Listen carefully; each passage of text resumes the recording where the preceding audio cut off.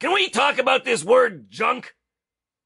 Not like the stuff peddled by Sanford and Son, but the euphemism for a guy's package.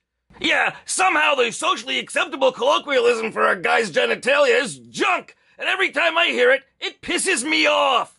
Don't call my manhood junk. Think of all the choices for euphemisms that are available.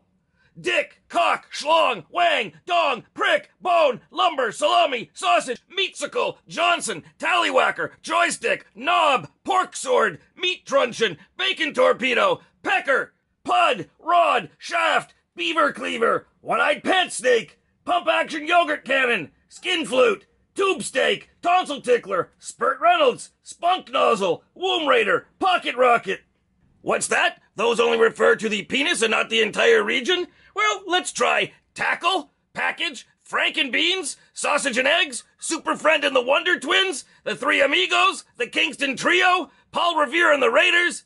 Uh, those last two seem a bit dated. But you get my point. There are numerous options for referring to a man's genitalia, so why has it become okay to call it junk? The thesaurus lists junk as debris, detritus, dreck, dregs, dross, filth, muck, offal, refuse, rubbish, rubble, scrap, scrapings, sewage, slop, sweepings, swill, trash, waste.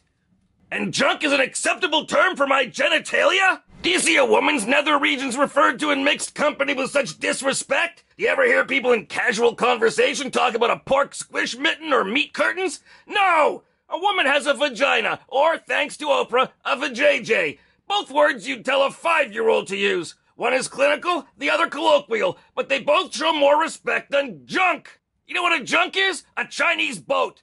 The area may be filled with semen, but it's not a boat. You know how the dictionary defines junk? Anything worthless, useless, or discarded. Seriously? You'd compare a man's genitalia to a winner of American Idol? And what's a woman's vajayjay then? A junkyard? Listen, people. Man or woman, boy or girl, carnivore or vegan, Bruce or Caitlin, doesn't matter who you are, you owe your existence to this junk. Every human achievement, from the pyramids to space travel, every bit of art or poetry, all music and cinema and philosophy, and all of human progress, and your very existence was made possible by what you keep calling junk. It's time to start showing male genitalia some proper respect. So, henceforth, the area formerly known as junk will be referred to as toolkit, tackle, hardware, factory parts, the meat department, or business.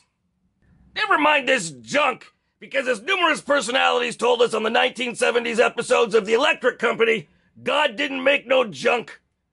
I'm Ed the Sock. Follow me at Ed the Sock. And don't forget to subscribe, because you don't want to miss any winners like this one.